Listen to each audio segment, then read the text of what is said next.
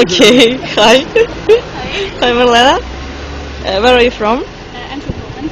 Uh, where have you been today? Uh, I have been to Chernobyl. Did you did you like the tour? Yes, I, I do like it very much. What can you say about the tour, about emotions? Uh, you know, it was quite impressive uh, because it's uh, not an uh, usual trip, but uh, the, the kind I'm interested in. Mhm. Uh, so I think it was it was a very good idea to, to go there because you can see something like that uh, anywhere.